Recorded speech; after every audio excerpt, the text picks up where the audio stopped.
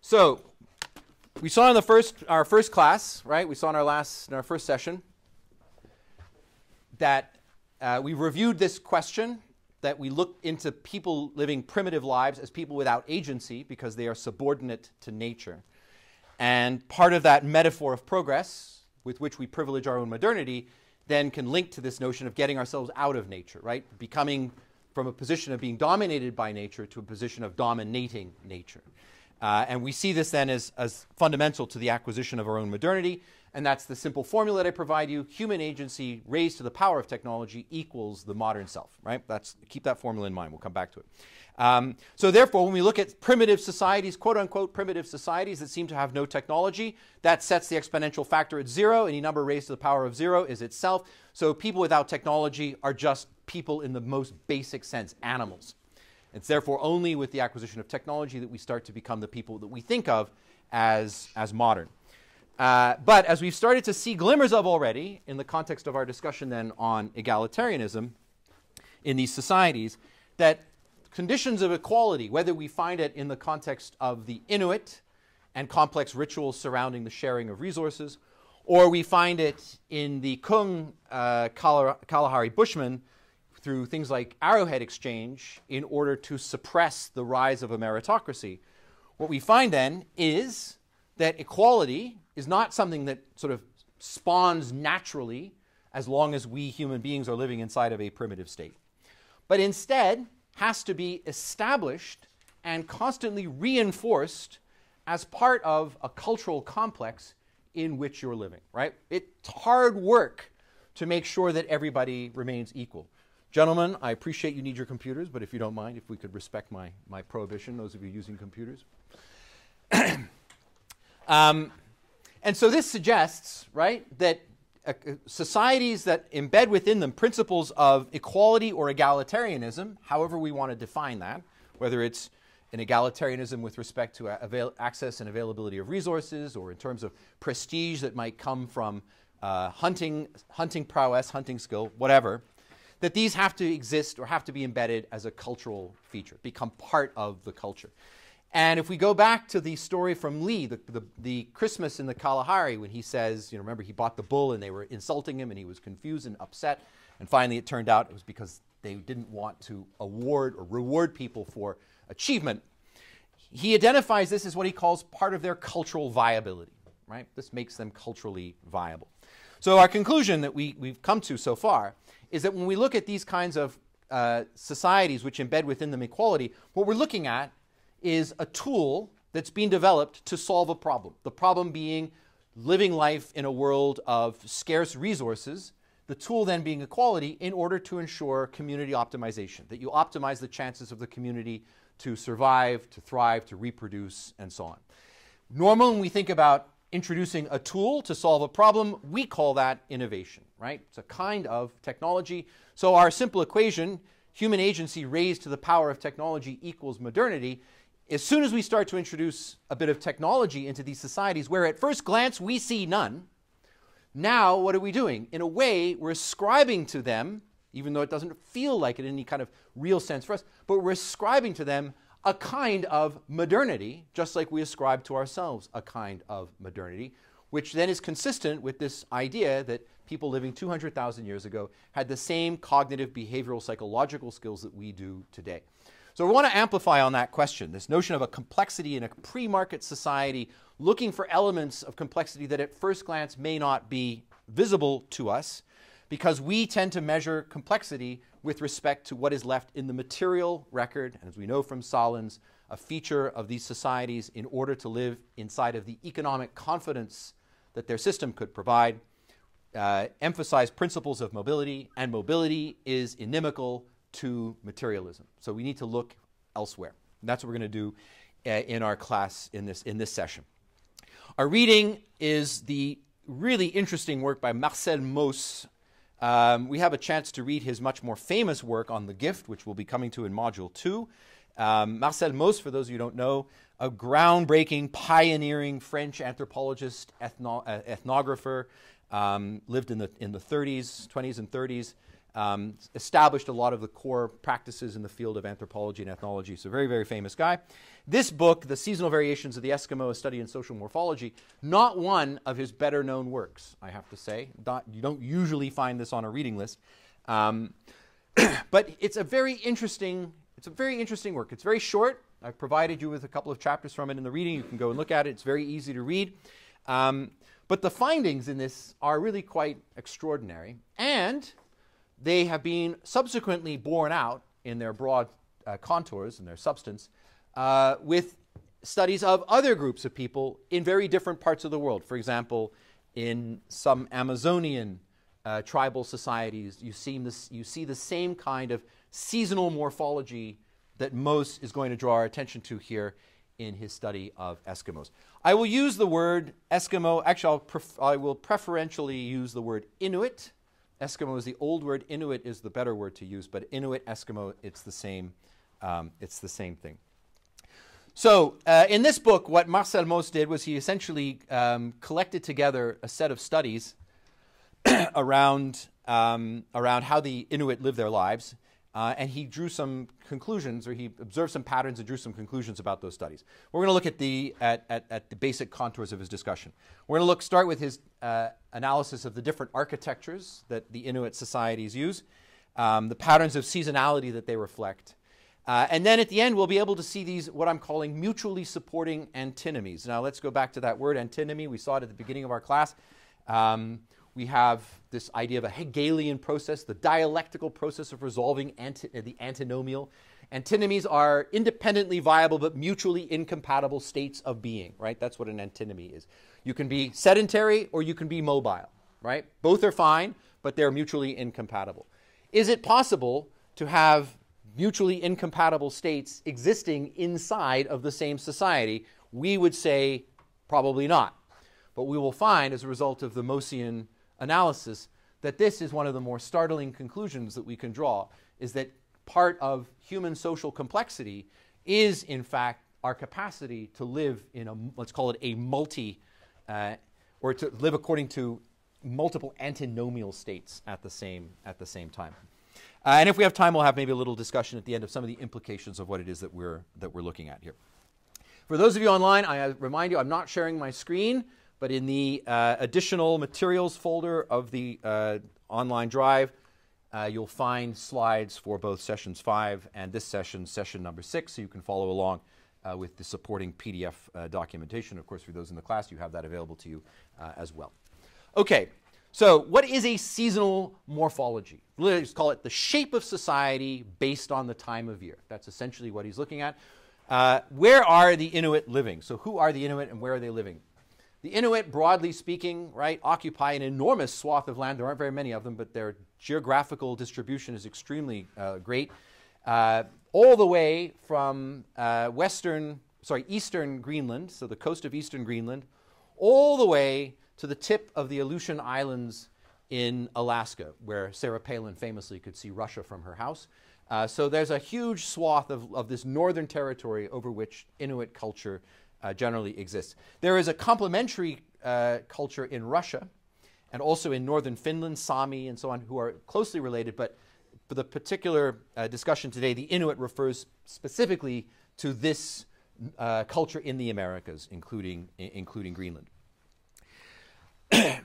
and the observation or the discussion of Mauss is premised on this basic physical observation which is that the Inuit, really wherever you find them, although there are certainly regional differences, but broadly speaking, wherever you find them, that the Inuit lead or live in different places in the summer and in the winter. Now, as with our Kalahari, we're looking at the Inuit, we're looking at extreme climate conditions, right?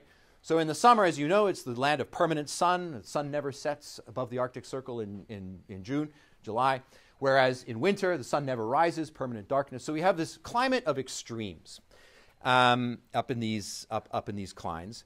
So it's perhaps not too surprising that in the context of these extreme climate variability that we would see these different patterns or modes of existence based on the season. Uh, but the, the basic observation is that they live they live in different places. So depending on what time of year it is, you will have a different house, right? And so the first part of his discussion is essentially to talk about what those different houses are. So let's take a look at them. The first one is in the summer, they live in tents called tupiks. Um, and you can see one here. I've put up a picture. These are typically um, animal skins, sometimes typically seal skins, because remember the primary animal available to the Inuit is seal. Uh, seal skins stretched across a very rudimentary frame. Now remember, the Inuit are living in the far north above the tree line. For most of them, they have access to no timber. So if you need to do things like put up a pole, whereas we just go chop down a tree, they don't have access to that. So typically it's made out of things like whale bone. So they tend to preserve the uh, bones of whales uh, in order to provide uh, what in other societies would be provided from uh, using uh, timber, uh, timber resources. Uh, so you can see here there's a tent, there's a family that's outside the tent. You can say uh, from one end to the uh, Eskimo area to the other, this group consists of a family defined in the narrowest sense of this word a man and his wife, or if there is room, his wives, because remember, we saw that in the Inuit culture, marriage is a flexible institution based on resource distribution availability. So you have instances of polygamy as well as polyandry. Um, unmarried children, including adopted children, and in exceptional cases, an older relative. So in the summer, you live in a tupik, and inside of your tupik is basically your nuclear family. You, your spouse, your kids, and maybe your grandmother, if you haven't yet put her on an ice floe to invite her to the, to, to the, to the next world. and you'll see then that in, uh, over the course of the summer, this is the fam- this is the living arrangement of the of the Inuit inside of tight family inside of tight family uh, structures. And he gives a little description. He says there is only one bench, covered with skins for sleeping. Every Inuit family had a lamp, so you put your lamp in the in, in the tent, uh, and so on. There's no partition to separate the family from um, from guests. Thus, the family lives perfectly united within this totally tightly closed Interior, it builds and transports the summer dwelling, which is made exactly to its measure. And you'll note the word transport because the idea of these tupiks, these tents, was you could move them around. So you could take them from one place to another place. They fold up just like a modern tent. You put it in a bag and move it around, right? So in the summer, uh, in the summer season, you have a life that's lived inside of the nuclear family in a condition that's characterized by intimacy and mobility, right? In the winter, they live in different structures, uh, which we'll typically call a longhouse. Uh, the most famous of the Inuit longhouses you probably know by the name igloo, iklu. Uh, but it's one of several types. The uh, more general type is called a karmak. Um, and so this is a very different structure, totally unrelated to the tupik, to the tents. The Eskimo Longhouse is made up of three essential elements a passage, which begins outside, and you can see here, um, for those of you who are following online, I hope you can see, there's this entryway passage, right? And then you'll see that the longhouse itself is, is, is um, carved out of the ground and then supported with a superstructure, right, for, the, uh, for the roof. Um, a passage begins outside, leads into the interior via a partially subterranean entrance. Inside are benches with places for lamps, and partitions which divide the bench into a certain number of sections. And I think I have a picture. Yes, can you see the bench that's here? It is an interesting feature, won't bother getting into it into great detail, but I'll simply note in passing that the idea of building a kind of oval house and putting a bench around it is remarkably common uh, feature of human architecture wherever you find it. There's a very famous site. We'll have an opportunity, I suspect, to talk about it next class. Göbekli Tepe uh, in Turkey. And one of the features of the Göbekli Tepe complex, very unusual complex, is it has a big oval uh, construction with a bench around it. Um, and in the Kung tribe, you may recall, those of you who read it in the, in, the, in the Flannery Marcus discussion, they build houses for the unmarried men. It's an oval house. It has a bench around it. So it's a, somehow it seems like a kind of a way of, a way of human thinking. Build an oval house and put a bench around it. And if you think about it, it's kind of fundamental. In fact, in a way, even monasteries uh, have this kind of thing, right? You have a big room and there's a bench around and everybody sits around. What's the advantage of bringing everybody together in an oval room with a bench? Everybody sits down, what can they all do? Everyone can see each other, right? So it seems like it corresponds to a kind of underlying innate social logic. In any event, this is the uh, style that we find also in the Inuit longhouses. the bench is divided into compartments by a short partition, and each of these partitions corresponds or belongs to a different family. And in front of each of the compartments is placed the family lamp. So remember that recall that in the in the tupik, you have one lamp, it's placed inside the tent. The lamp, in a way, is a is a is a desi- designation of the family. Each family has one lamp. So where the lamp is, that's where the family is. It's a sort of an assertion of presence, not necessarily ownership, but of presence. Along the front wall is another smaller bench, which is reserved for adolescent unmarried young people or guests. In front of the house are storage places for provisions such as frozen meat, props for boats, and sometimes a kennel for dogs. And you can see here the uh, layout of a typical uh, Karmak winter, winter longhouse with different gradations and the benches going around the uh, outside and the subterranean entrance, partially subterranean entrance leading to the leading outside. Additionally, if you have, um, uh, if you don't have uh, any kind of uh, timber resources available, um, or or whale bones and so on and so forth, the other thing you can make your longhouse out of literally is snow and ice, hence the famous igloo. We typically think of the igloo as a kind of a small individual dwelling. That's wrong. The igloo is actually a multi-family dwelling.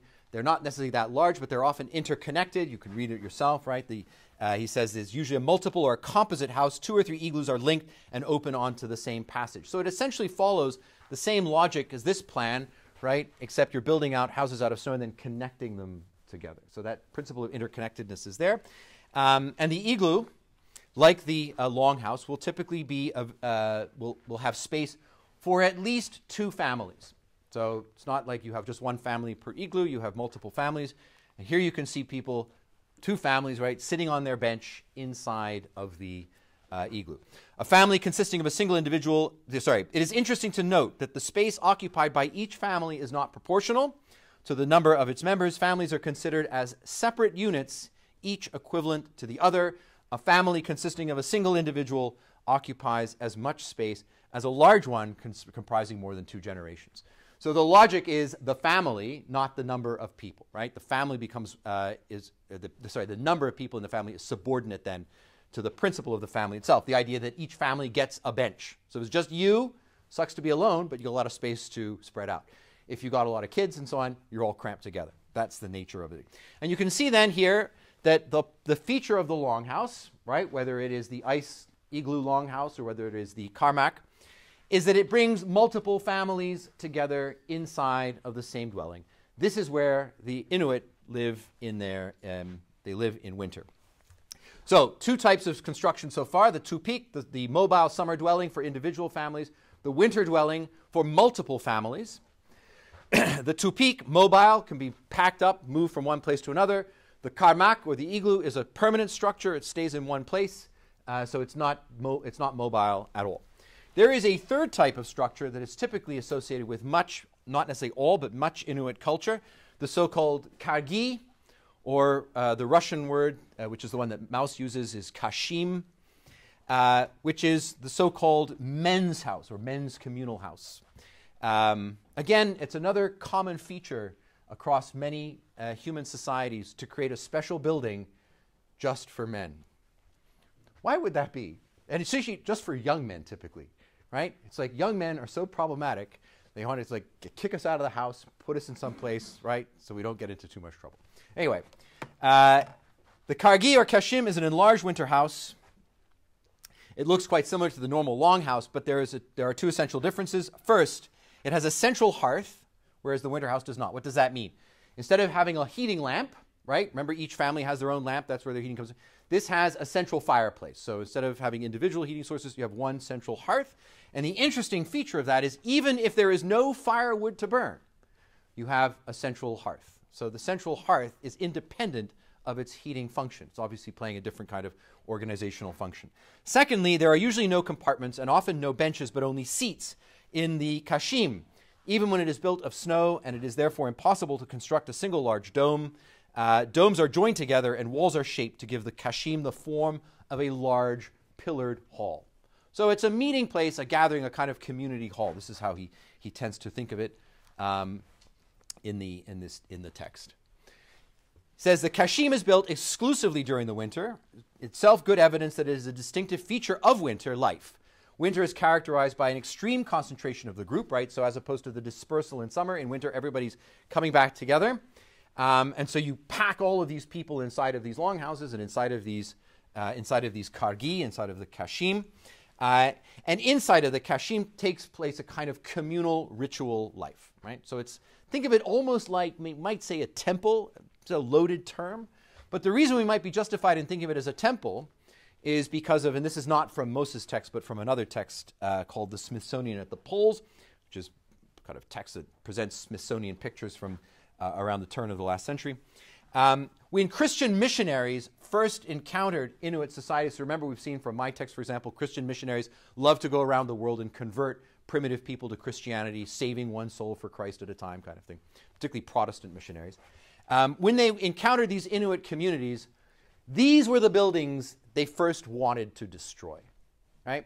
The, the Kargi or the Kashim were the primary rival to the message of the missionary, which suggests that they're therefore playing a similar kind of role as a church might play in our society.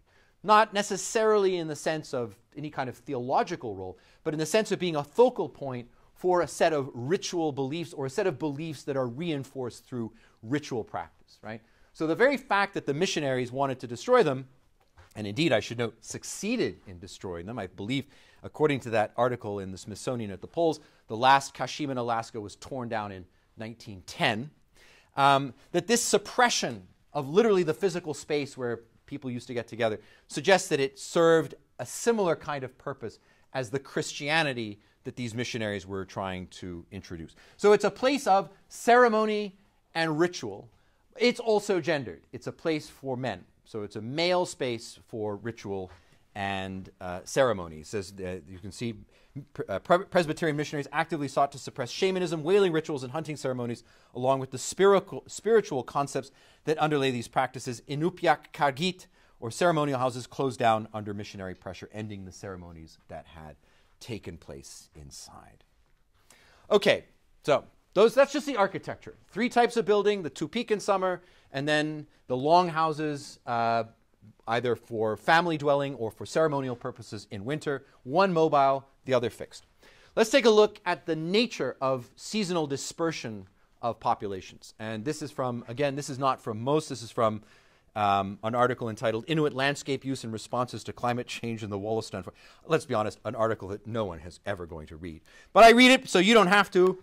Mikkel Sørensen, whatever his name is, Sørensen, yeah, uh, a Dane, uh, engaged in archaeological work. So we're not looking at living Inuit practices, archaeological remains testifying to former uh, patterns of settlement amongst the Inuit of the extreme northern western northwest coast of Greenland. I've provided a little thing from maps so you can see the the Wollaston Forland Clavering Ö is up here, right? So go to Iceland, go straight north, and there you go. Okay, here let's look at the maps. Uh, get some some empirics here. So, what are we looking at? We're looking at the evidence for dispersal of these two morphologies, right? The, the summer and the winter uh, type of dwelling. Uh, and then the size of the circle indicates the number of such dwellings that are encountered in these different sites. So you can see that in these two in these two spaces, right on the, the coastal fjordland of, of uh, northwestern Greenland, that there are obviously spots which are suitable for hunting seal and uh, maybe others, uh, other marine and even possibly some land resources. But what do you find? You can see that in yellow is winter because that's the, uh, the turf houses, meaning the long houses that are built according to that winter system. And the red are these tent rings, right? So the stones that they used to put down to secure their tents in different places. So now these are leaving remnants of where they used to pitch their tents. So what do you see? You see that there is a kind of oscillation effect from summer to winter. During the summer, people spread out, makes sense, they're all living individually in small tents. They move to different parts as the, as the, as the weather warms up, as the seals start to, to come out. And then in winter, they retrench back again, right? So there is, you can see the clustering effect that's taking place between winter and summer. In the winter, it's much more clustered. In the summer, it's much more dis- dispersed, right? In this way. And you can also see that the winter and summer implicate different geographies in this, in this context.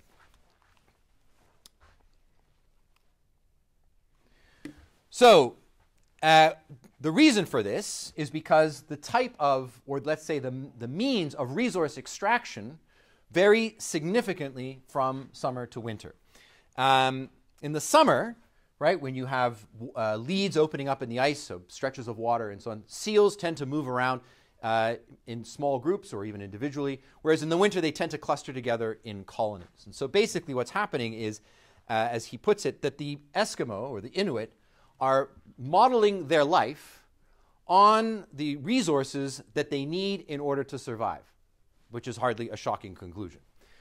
What does that suggest? If the lives they live are essentially modeled on the resources that they need in order to stay alive, that goes back to our original point, which is this is homo subordinatus, right? This is man being subordinate to nature, that the way we get to live our life is now being defined by nature. So this sort of speaks to that idea of, of a primitive man without, um, without agency.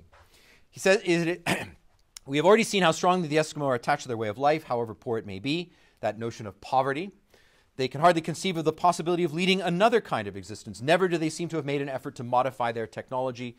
Neither the examples they see of neighboring peoples with whom they have contact, nor the clear prospects of a better life is enough to induce them in the desire to change their ways. He gives an interesting example in the text, those of you who want to read it for yourself. He gives the point that um, uh, snowshoes, which were used by woodland Indians of northern Canada, and help you as someone who's used snowshoes a lot, since I'm a northern Canadian, uh, they're very helpful when you're going through snow. On the other hand, the, uh, the Inuit use mukluks, right, which are kind of like soft-soled shoes. The interesting point was that there was contact between the northern woodland Indians and the Inuit. They knew of snowshoe technology. It would have helped them in terms of navigating snowy terrains. And yet they did not adopt this technology despite its apparent superiority because they're living inside of a technological complex which to them seems perfectly fine, perfectly adequate. That's the point that he's making here, right? They're, in, they're indifferent to change. And note the point that, and the other point that I'll draw attention to, they make no effort to modify their technology. So the introduction of an external technology, at least prior to modern contact, now they all use snowmobiles and stuff, but prior to modern contact, had no impact, or seems to have had very little impact in terms of the kinds of life that they led. It is by means of this technology, a social phenomenon, that Eskimo social life becomes a veritable phenomenon of symbiosis that forces the group to live like the animals they hunt. So you'll note the, the distinction that he's making, tease our conclusion a little bit, that they're rejecting, or that there is a structure inside of the society that seems hardwired to reject, uh, reject the idea of a kind of material technology, a snowshoe, introduction of something new like that because it would displace, or there's the threat, it would displace another technology, a social technology that exists inside of the society. So he says this technology a social phenomenon, and we'll come back to that to that point.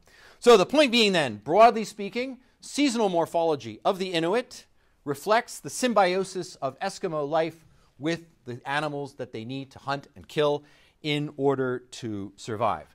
In the winter, therefore, as those animals themselves cluster together, so do the Inuit in the summer as they disperse, then so do the Inuit as well. And if we go back to our map from uh, Sørensen, that's presumably what we're seeing here, right? The clustering dispersal effect, even here on northwestern Greenland, reflects essentially then seasonal variation in the availability of huntable uh, resources, seals.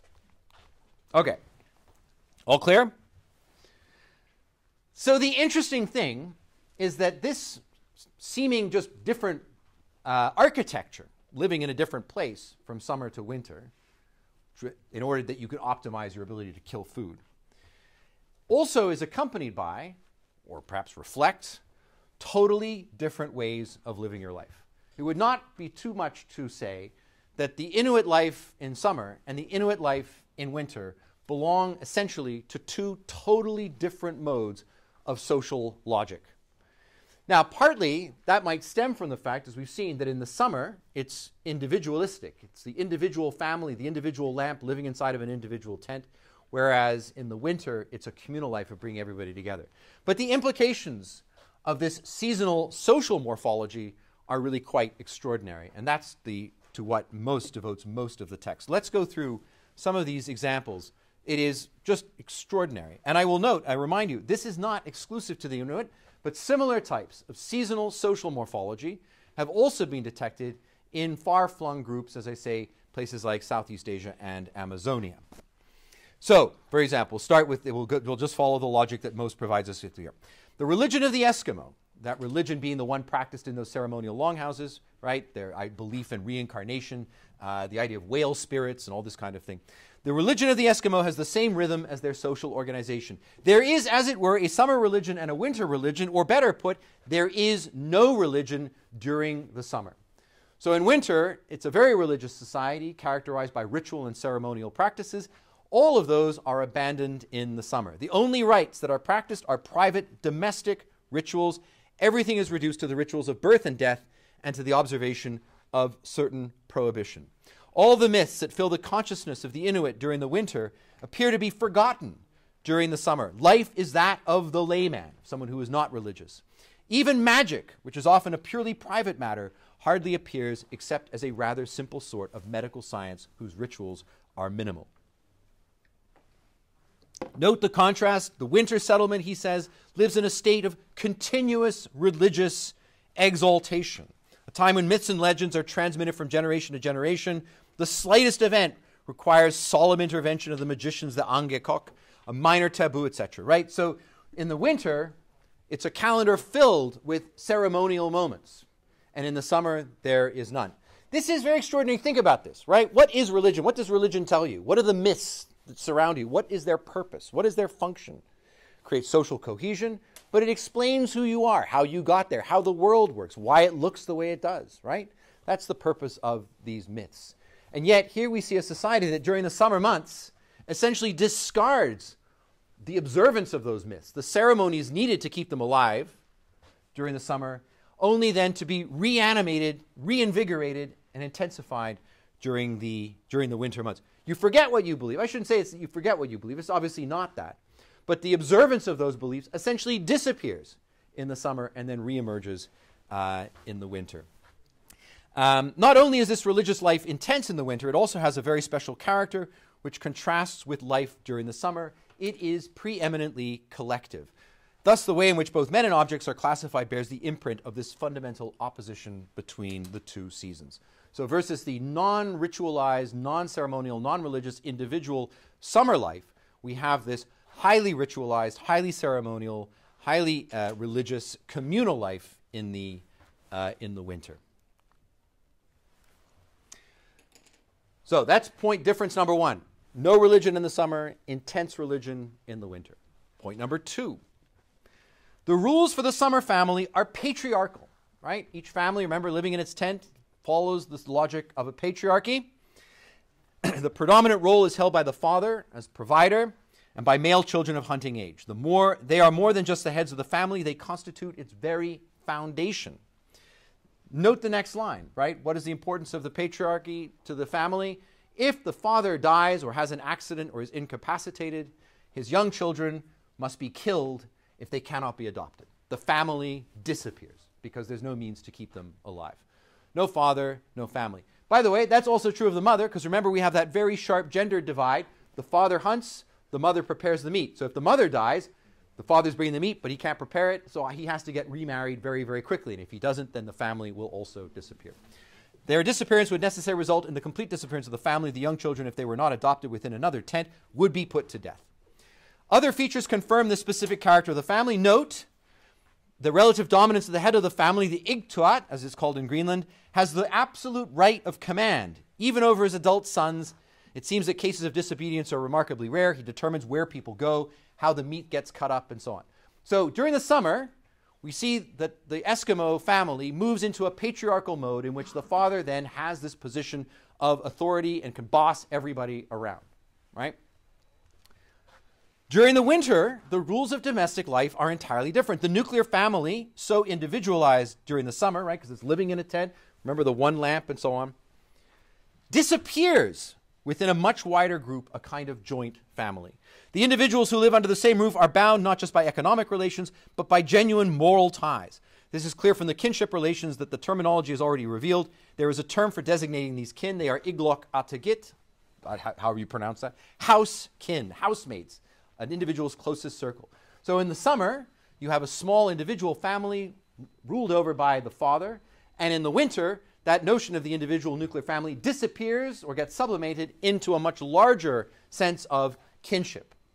What then happens to patriarchy? What do you think? What's your guess? If, if the individual family is dominated by a patriarch, now you're moving into a system where the individual family is disappearing to multiple families. Can you maintain patriarchy in that context?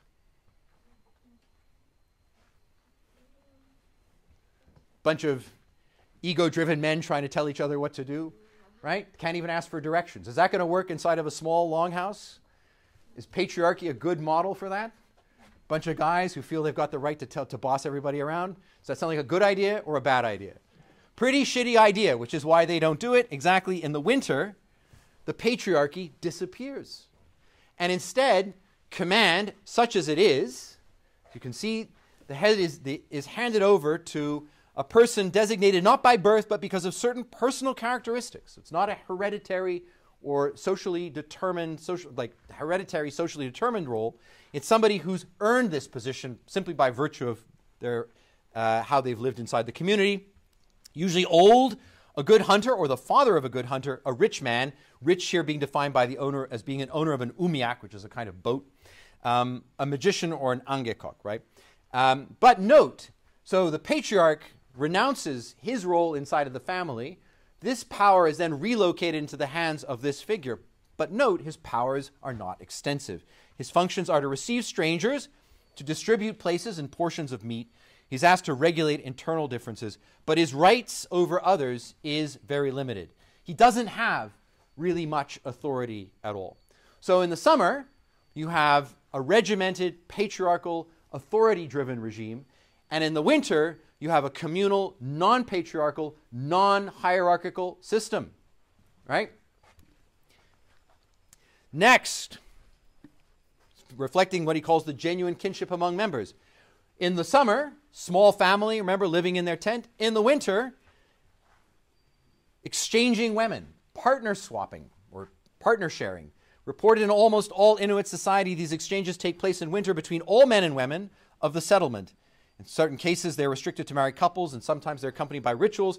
Generally, however, all nubile individuals, I think by nubile he means individuals capable of and or interested in having sex, take part in this sharing regime, in this swapping. Usually, this practice is associated with collective winter festivities, but sometimes there is no connection. Thus, what happens in the winter? The whole idea of the nuclearized family, from everything to its hierarchical command structure to its sexual monopoly, disappears in the context of the winter longhouse. The command gets shifted over into some kind of nominal elder who has respect but no real authority. And, some, and the forms of sexual monopoly that exist inside of the marriage structure dissolve through this system of sexual exchange between all members of the group. Right? I mean, it's weird. Let's just say it. That sounds weird to us. But there you go. The last point that he makes, which I didn't bother printing out here because I didn't want to just like read slide after slide after slide. But the last point he makes, which is very consistent with this, is that in the summer, the Inuit hold on to a principle of essentially what we would call private property rights ownership of boats, ownership of tools, and so on, right? That, the, that in the summer, they are surrounded by items that they would identify as belonging to them. Whereas in the winter, individual property rights disappear and are replaced, not surprisingly, by a form of collective or communal property sharing. There is no individual property. Meat that might belong to you in the summer months now belongs to everybody in the, in the winter months. And so they live according to a private property regime in summer and a public property regime or communalism uh, in the winter. And he has uh, an extended discussion in the book itself, which you want, if you want, you can read it. Okay, so what are we seeing? If we put these things together, right, we have two totally different ways of living your life. You have a mobile, nuclearized, patriarchal, hierarchical family unit over which there is a, a, monopoly sexual rights exercised in the context of that family unit, driven by private property and so on in the summer. And then in the winter you have the complete, the complete opposite. From mobile to sedentary, from individual to community, from private to public, from the nuclear to the denuclearized, from the hierarchical to the egalitarian, from the non ritual or non ceremonial to the intensely ritual, from the non religious to the intensely religious, from the chaste to the promiscuous. you would think that one of these modes of living would be incompatible with the other mode of living, right? Let's just take the last one because that's probably the easiest for us to get our heads around. Either you're living in a closed marriage in which you have monopoly privileges over the sexuality of your partner, or you're living in an open marriage in which you don't. But you're probably not living in both, right? Either that's important to you or it's not. But it can't exist as both states. Either you're living in a world that's informed by the logic of mobility, or you're living in a world that's informed by the logic of sedentarization. But he can't really think of living in both. To our modern eyes, right, to the way that we see these, we see these as opposites, not as complementary. It's one or the other. That's why I suggest the word we should use is these are antinomial, right? These are antinomies. Both are perfectly viable, but they are mutually incompatible, right? One, one model of life is simply incompatible with the other model of life. And yet, we find all across the Inuit world this is the pattern of existence that they follow. And what is driving it? is being driven by the fundamental underlying condition of resource availability. When in the summer resources are relatively abundant, we see one form of existence. And then in the winter, when resources are relatively scarce, we see another form of existence. So if we think about the logic, what does that mean? In the summer, it's easy for me to keep myself and my family alive just by virtue of my own hard work. In order to make that efficient, I'm going to tell people what to do, where to go, what to hunt, and it's going to work fine because we'll be able to get the food that we need to eat. In the winter, when resources disappear, at that point, my ability to keep myself and my family alive is constrained. What am I going to need? I'm going to need the help of other people. At that point, the individual life that makes a lot of sense for survival in the summer is now working against me were to I keep that were I to keep that system going in the winter. At that point, in order for me to optimize my survival chances and the chances of my family, I'm going to want to live inside of some kind of collective communal logic. My own individuality is going to need to be subordinated to a group identity. And that's then going to help me optimize survival in the context of this environment. Hence, in order for me to optimize my survival overall, it makes sense for me to practice one mode of existence in the summer and another mode of existence in the winter. And what makes those reconcilable is we're not seeing it as a set of incompatible cultural practices, but as part of the same cultural practice that's linked to a social optimization principle how best to survive in these kinds of environments. Is that clear?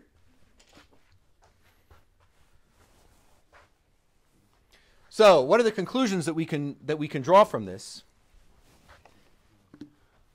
The first and perhaps most extraordinary is that uh, forms of social life that we think of as fundamentally incompatible can coexist within the same cultural complex, right?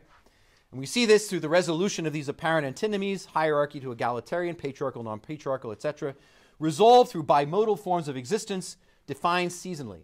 And I should emphasize, reinforced ritually. And usually, when we find ritual reinforcement, what we're finding is cultural reinforcement, right? That's the purpose of ritual, is essentially to teach the culture. Uh, so the, the intense ritualistic life of the winter presumably relates to the viability then of this alternative summer existence. Inuit society, therefore, is, is characterized by this seasonal oscillation defined by axes of resources and geography. If you follow my kind of my, uh, my image that I'm trying to, to identify, to, to build. And this bimodal or seasonal morphology, bimodal uh, form of existence, implicates the most fundamental aspects of Inuit culture, really human culture, right? Who you are, who your family is, the power that you have, your sexual identity, and the things that are yours, right? The most fundamental features of who we are family, power, identity, sexuality, and property rights. All of those are implicated at the most elemental level by this bimodal form of, uh, of existence. How are they able to do this, given that when we first were, if I were to tell you this without any context, you'd be like, nope, not possible, can't do that, Can't exist. What makes this possible? And here's the word that we saw before that Mauss was using a couple of slides below. It is a form of social technology. The Inuit reject the technological innovations of their southern neighbors, like snowshoes, who needs those?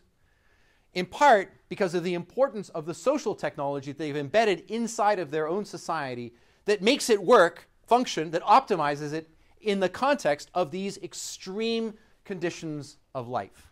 So when we look at the, we ask the question, what is it that allows us to explain how these antinomial states are resolved? The answer is they're resolved through technology. They're resolved through a social technology that enables these two modes of existence to function within the same society compatibly, one with the other, even though we would think of them as incompatible, right?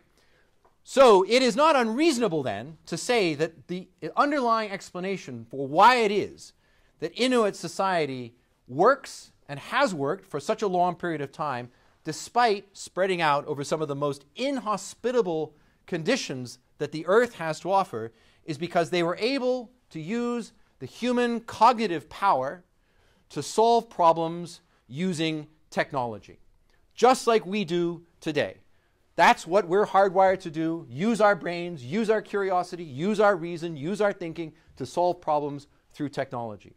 The issue, of course, is when we think about, we first see that, it doesn't look to us like technology. When the Protestant missionaries, you can just imagine if you're some like super earnest Protestant missionary and you go visit some Inuit village in Alaska for the first time, and here are all these men stripped naked to the waist, chanting strange things in a longhouse, and it couldn't have smelled very nice. And then that night, they're all exchanging partners with each other. What are you thinking? Look at this amazing technology. Is that what the Christian missionary was thinking? No. What are you thinking? Honey, I'm going to need more Bibles. These people desperately need to be saved. Right? You're going to look at this as demonstration of unremitting primitiveness. Look how backwards these people are. Look how little they have. Look how stuck they are in their primitive state. What you're not going to see is an entire technological complex that enables people to live in circumstances which would defy most organisms from being able to thrive. And yet they have lived up there for thousands and thousands of years. Let's go back and recall the formula that I presented to you at the beginning of our class, right? This question of how we look at the past, how we look at our own modernity. Human agency raised to the power of technology equals the modern self. If we're thinking of technology as Ubers and Teslas and space exploration and iPads, then we're going to look at the Inuit society and say they are a-technological. In fact, we would go one further than that. They reject actively, apparently, the introduction of improving technologies such as snowshoes.